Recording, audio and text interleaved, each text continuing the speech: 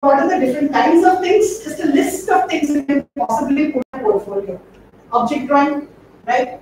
Still life, uh, different of different textures, materials, light and shade effects, compositional skills, detailed study of an object, all these are things you can put.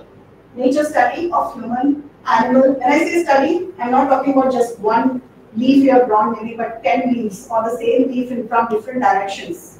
Okay, so study in various mediums. So you can do the same leaf in pencil color. Pencil color, you can do it in acrylic, you can do, it in watercolor as well. So that is known as a study. You are going in there. Portraits, different kinds of portraits.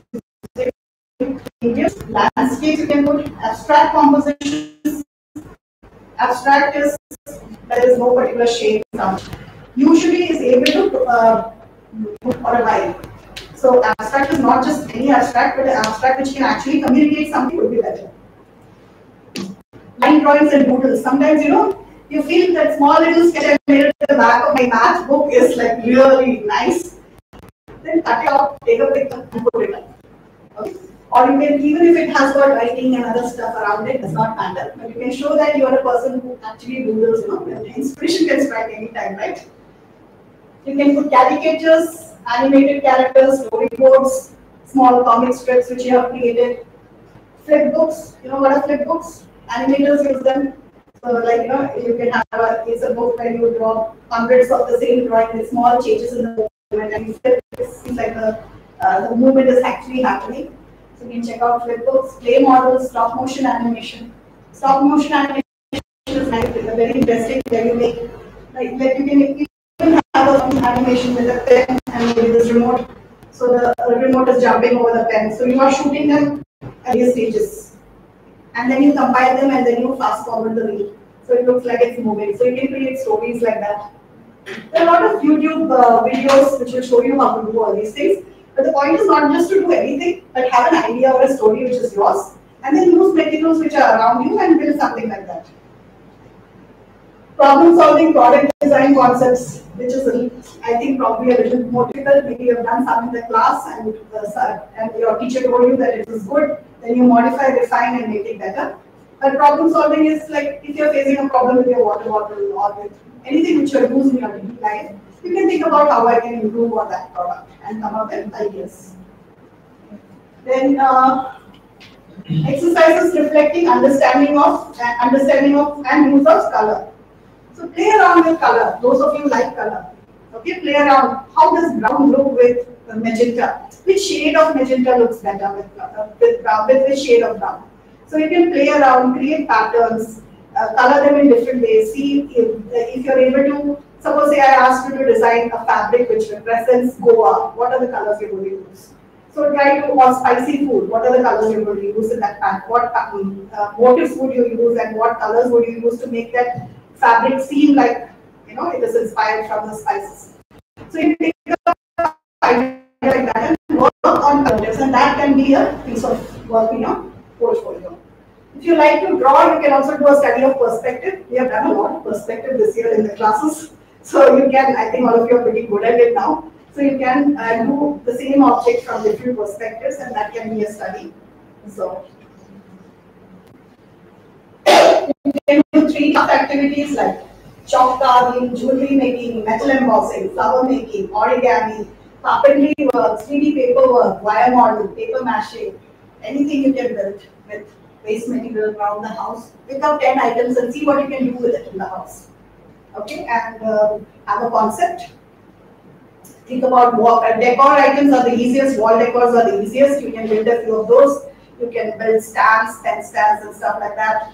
You can build uh, keychains, a lot of things, posters, fridge magnets from waste material.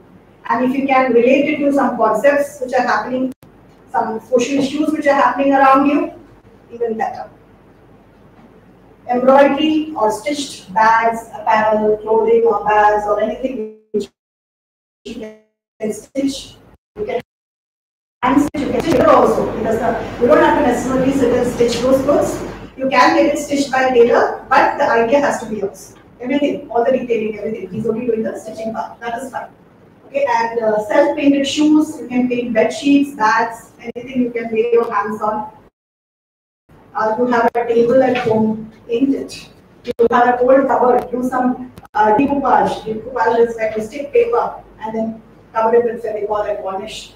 So you can do a lot of interesting things with things which are old and useless which are lying around in your house.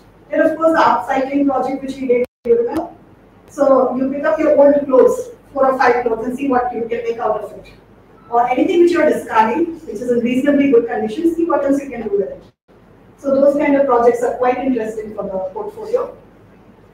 Yeah, and medium of expression can be, like I said, pencil, watercolor, oil paper, anything. Okay, so are you getting some ideas as to what all you can do? Now, how do you make your portfolio strong? What your portfolio should have is originality and creativity. That means you're not copying stuff from the internet. Because if you have seen it on the internet, I'm sure, even the examiners, you can be sure examiners have also seen it. So you know how to come up with a good creative idea of your own. You don't have to copy. You can be inspired, yes. You can take ideas in terms of skills and how materials have been used. But something of that has to be your own. You have to make it something which means something to you. Okay, convert it into something which means. Show your skill. Show range. Range, when we are talking about range, is the variety of things you are able to do. And ambition. When we say ambition, it means uh, your desire to do and complete certain projects your so you started something and maybe your ability to get orders all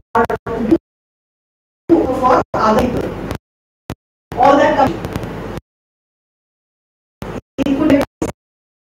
be like you designing this for yourself creating a brand logo for yourself because in the future you are seeing a brand uh, which is yours. Okay, that is ambition, right? So stuff like that you can also put in your portfolio. Okay, now um, if you call it insightful, that is they mean something, it is better than superficial concepts and have layers of meaning work that is people need some time looking at the work and find out more and more. There is certain amount of depth in your work, it would be better. Then you can use beautiful compositions, interesting colors and scale to make your work stand out like this portfolio so creativity. And most importantly, your strength. Figure out what are you sketching, highlight on that. If you're good at typography, highlight on that. So whatever you're good at, figure that out and highlight that. And it's also good to have one piece in your portfolio which is actually is work which the uh, examiners are looking at and they say, oh wow, and that's useful virtually. So if you can, uh, all is like just secondary in that case. If you have one piece which can stand out, which is unique, you have put in a lot of effort and the pages of your portfolio because it is that detailed. You put in a lot of effort into it. It's your main project. And that is like, I think then that is enough. You don't need to have too much stuff.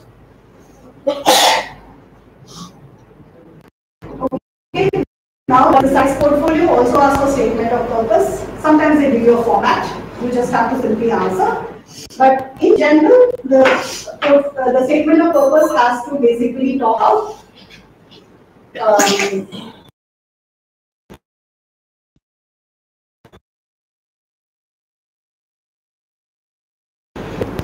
what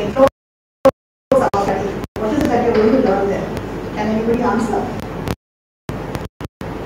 What are you going to learn there? Go first, what do you learn? Do you.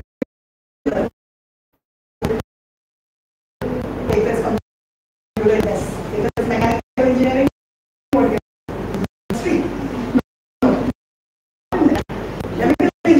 you will. Any mechanical engineers here? We have no in the back, sitting quietly. What do you learn in engineering? What do you learn? Okay, BA, BCom, what do you learn? Commerce.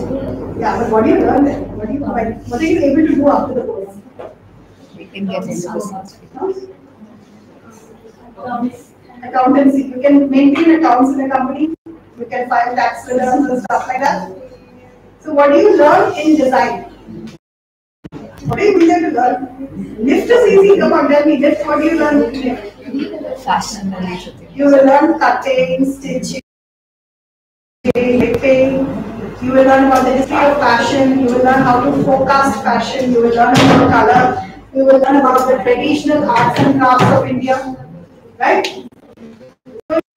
You know what you're going there to learn all these things and then put all that knowledge to uh, and learn how to create um, fashion. Is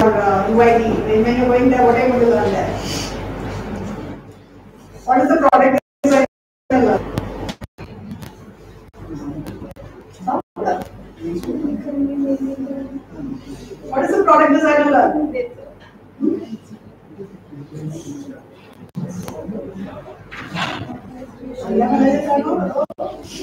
What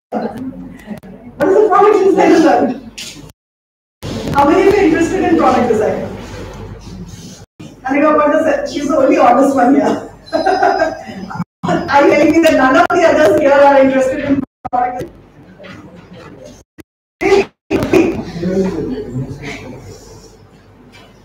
So what are you guys interested in? Communication. Okay. Anika, product design, what do you learn?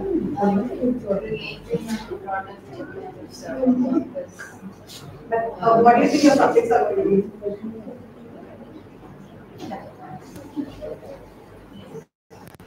Working with different materials. Yes. Designing. Also, computer tools which help, which will help you design. You will learn about products which were in the past, which are iconic and how they influenced and changed over the years so that you can also consider the same pattern in the future products.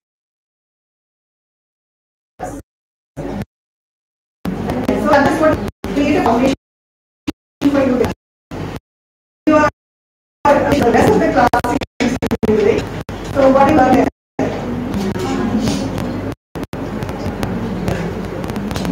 silent now. You there? Tools. What? You you have no idea what you're going to learn Isn't it? But you have to have an idea of what you're going to learn, right? This is like going there blindly. You don't know what they're going to teach. Do you know that all these colleges have their course curriculum in their notion? Why do you need that? You're just jumping blindly into it. You have some preconceived ideas, okay, it could be like this, and uh, just, you have to understand, you have to read the brochure. Communication design, you will learn about colors, you will learn about typography, you will learn about layouts, you will learn about um, different media, you will learn about the process of how uh, um, an advertisement is probably made and published, or how a movie is done, how animation is done, so many things. And uh, you will also learn about uh, different, uh, uh, what do you say, uh, applications and tools with which you can release pieces of work. Okay, so there are a lot of things, and again, history of communication design, what has happened in the past, and what are the predictions for the future, how you can how you want the um, what is going on around you, how, how can you into, into your designs and how can you forecast trends in communication design. You know there are trends of color, trends of typography, trends of trends of graphic design every year. So every year it's coming up with new trends. So how does that happen? How do those trends get created? So what is changing?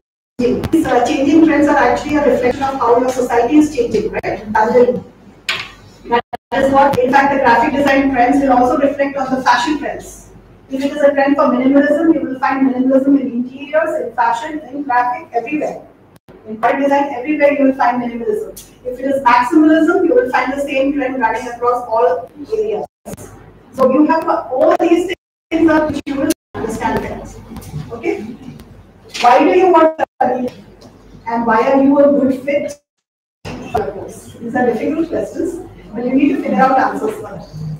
Why do you want to study communication design? Um, communication design because it, uh, I will that uh, I feel the need to be able to. I have always been a person to communicate visually more than through speech or through text.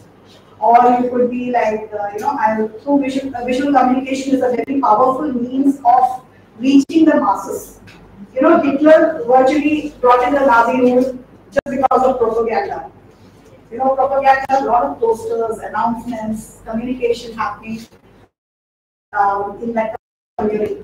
Modi won the elections because of propaganda. That kind of media publicity, media, um, the, the reach he had, and the things he said, uh, which was, do you remember the Clean Bharat Abhiyan? Media, right? So you can do communication. So you have to know why you are getting into a particular field. Similarly, what do you do? Maybe once you have it, like you start your own, you're going to work in a company, a long-term course. You, how you talk about your experiences? I have already done this, this, this.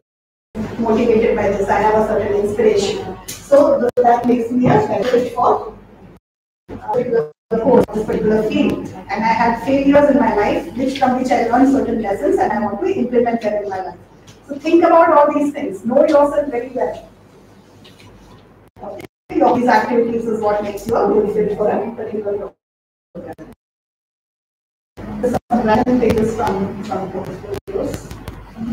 This is fashion design. And you know, like the sketches are not great, but the person is still um, pretty well because see how that person has actually tried to make it make the dress in that particular way with fabric, so that it shows that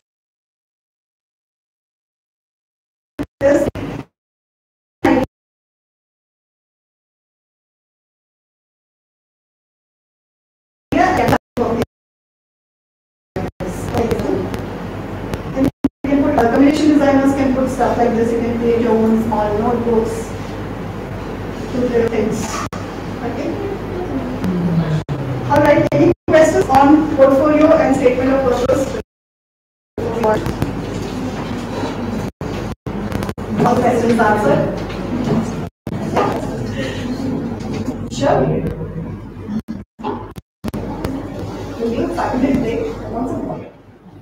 Okay. Thanks. Think of questions you have